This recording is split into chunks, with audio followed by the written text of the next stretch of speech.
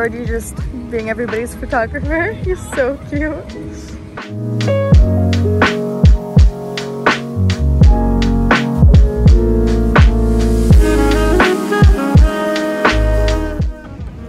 First of all, angles, bitch, angles. Let's go. She's like, hey guys, uh, I gotta shave my arms, but not my legs. I look like two different bodies. Babe, a little more of my crouch, please.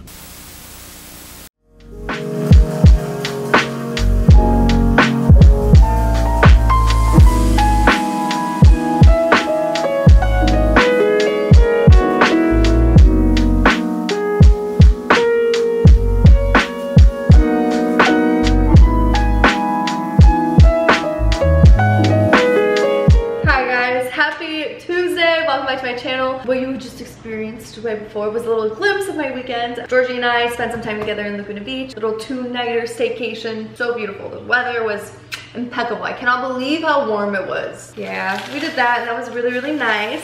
So I thought that we could spend the rest of this vlog crafting because I haven't done that in a second. And I've been crafting on my own time, but I just haven't been sharing it. And I thought it'd be fun to like make something. My mom came over a few weekends ago and we started this project, we started this painting. And then she had to leave, so I kind of, I've been finishing it on my own. What we used to like make all these textures and stuff, which I'll show like a close up of it, is so much fun, it's so cool. You can make so many different textures. And I got really excited about this one texture that I made in the center. See how cool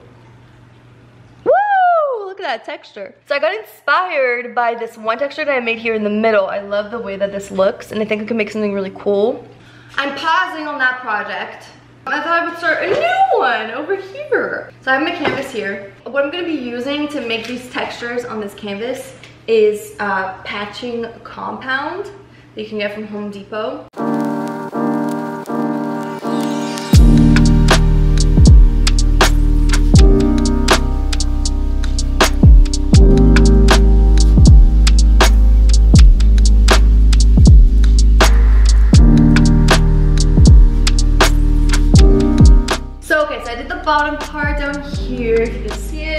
The uh, top part of my canvas I'm gonna do with this beautiful blue that I found at the store. My mom and I saw this blue and we just were like, wow. It's like the perfect periwinkle blue. Can you see that?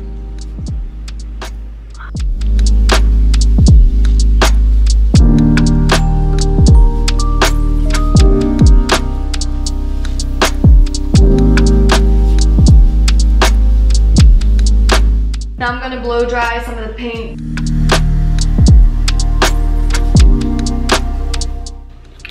Put down our patching compound down the center.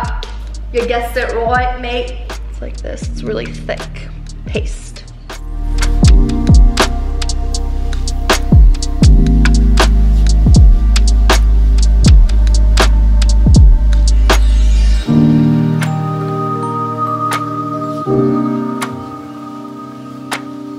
The thickness has to be just right so that we have enough to play with. I want the top to be, I think, a little bit thicker than I do the bottom because that's where I want it to look like a certain way. Now, I'm going to just play around with the texture in the center. I know what I want it to look like, but We'll see if that's what it turns out. What I'm trying to do pretty much is create the essence of a wave or like the essence of like water in the center. It's not gonna specifically look like waves or like, you know, like the ocean, but ah, that's kind of what I was going for. So that's why I picked this color for the bottom, almost like the sand, color for the top, kind of like the sky, and then the center we have this like textured, you know, imperfect like water wave type thing going on here. So I'm just gonna play around with it until I like the texture.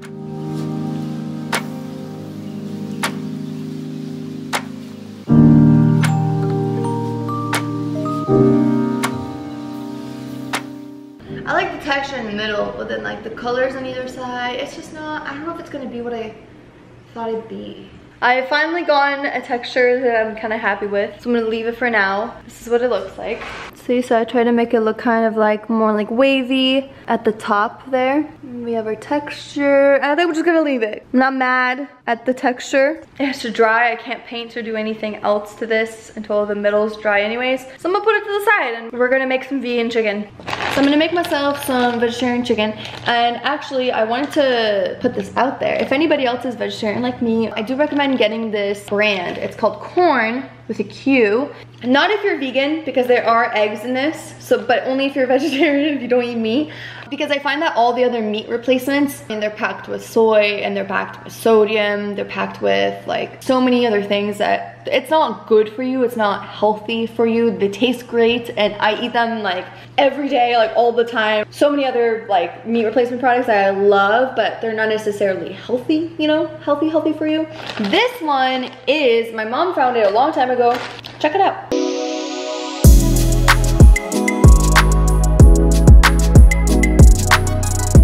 I like to use um, coconut aminos.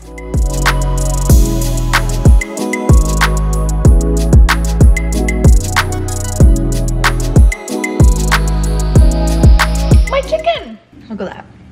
Oh, I'm gonna snack on that. Let's get ready for bed. I'm going to wash my face and we're gonna do my skincare routine together. This is the face wash that I now use and I use all the time and I love it. It's the Dr. Bronner's, I don't know his name. It's the 18, 18 into one. Hemp, peppermint, uh, pure Castile soap. Yeah, the soap is just like 100% organic, clean. There's nothing in it. It's just pure Castile soap with peppermint.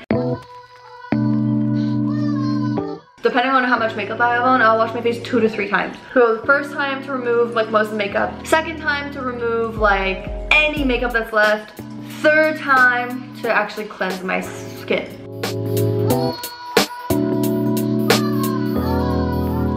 No makeup left.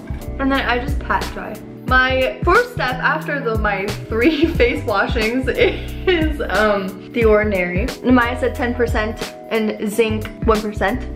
And then remove the skin. Then my next step is some good old vitamin C. I also use the Ordinary one. Okay, so I, I just do a little bit.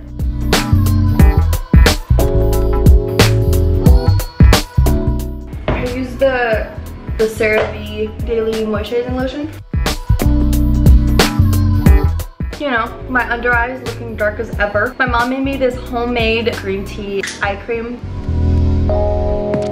And my last thing is for pimples, I use this spot cream that my dermatologist gave me. It's a clindamycin phosphate and benzoyl peroxide gel, 1.2% slash 5%. So I'll put it on spots, okay, so like this, I know I have a pimple coming underneath here. I'm gonna do a little Laneige lip balm lip mask situation. To brush my eyebrows. Sometimes I'll brush my eyelashes too. My eyelashes, they get so knotted sometimes. They go in all crazy different directions. I was saying that this is really up close and personal. Other than brush my teeth, I mean, it's about all I do. All right, okay, well, that's all about I got for you guys. I hope you guys enjoyed today's video. And thanks for always, uh, for tuning in and watching. And I always read everything that you guys comment and you guys are just so sweet. You guys literally say some of the sweetest things to me. So I just wanted to tell you I really appreciate it and I love you guys. And yeah, I hope you guys enjoyed today's video. I will see you guys next time. Don't forget to like and subscribe and leave a comment. Good night.